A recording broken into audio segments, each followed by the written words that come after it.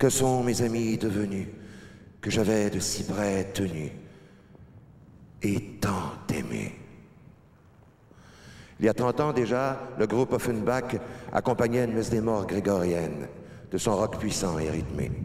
Je vous invite donc ce soir à une commémoration de cet événement exceptionnel qui a marqué l'envol du Québec vers le grand volier des nations modernes. Malheureusement, quelques-uns d'entre nous sont disparus aujourd'hui mais ils demeurent dans nos cœurs pour toujours.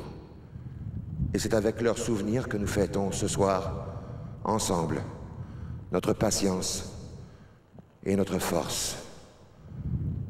Je me souviens. Memento.